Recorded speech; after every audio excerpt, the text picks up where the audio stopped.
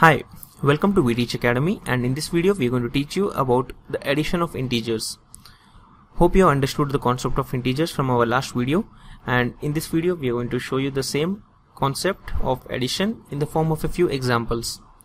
Let us start off with the first example which is 2 plus 3 and we are going to find the result of the same on a number line.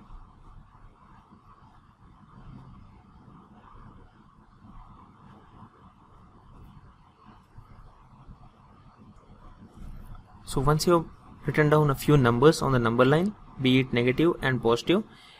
you need to first mark the number 2 on the number line. Next, you need to move 3 steps towards the right to mark the next number in order to add the integers. That's 2 plus 3 which would give you the answer of 5. Since it's a positive number,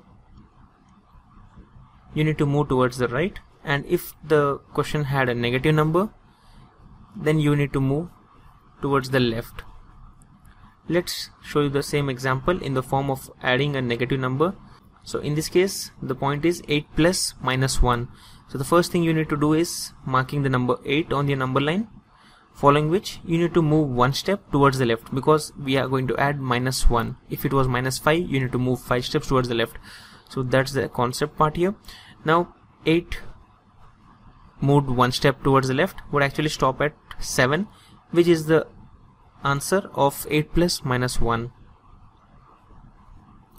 so in short if you would like to add a positive integer then you need to move towards the right on your number line while if you would like to add a negative integer then you need to move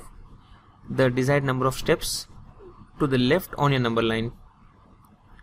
so this is about this concept of addition of integers. Now let me show you the same in the form of few more examples.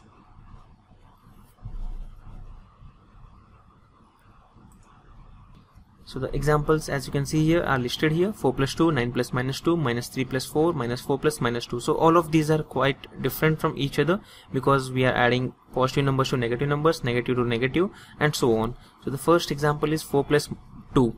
wherein you need to mark 4 move towards the right two steps and wherever you stop would be the answer of this addition. So the answer is 6 the next example is 9 plus minus 2 so as you have already guessed you need to first mark the number 9 on the number line and move two steps towards the left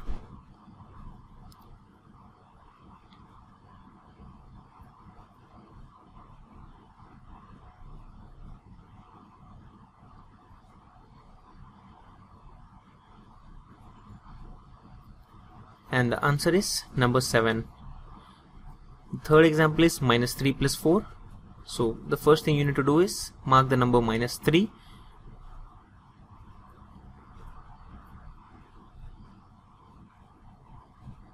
and move towards the right because we are adding a positive integer to this. That's number 4 so once you move 4 steps towards the right we are stopping at number 1 which is the answer of this addition. That's minus 3 plus 4 comes down to 1 now talking about the final example which is minus 4 plus minus 2 so again you need to first mark the number minus 4 on the number line which is on the left area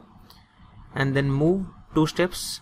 towards the left because this time we are adding a negative integer to another negative integer. And the answer comes down to minus 6 so if you notice that when we are adding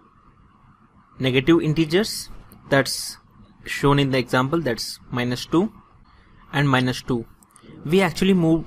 towards the left on the number line. But when we are adding positive integers like number 2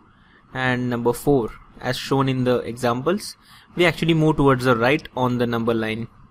So we hope that you have understood the concept of addition of integers and in the next video we are going to teach you about subtractions of integers.